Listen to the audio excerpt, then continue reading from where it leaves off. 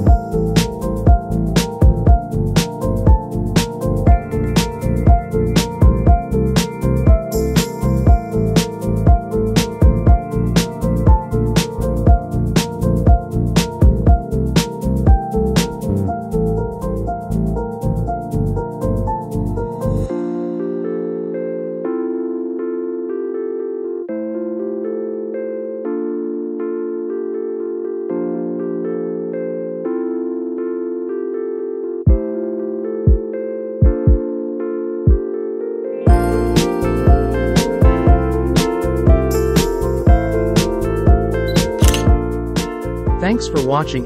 If the video is helpful to you, please subscribe and share it with others in need.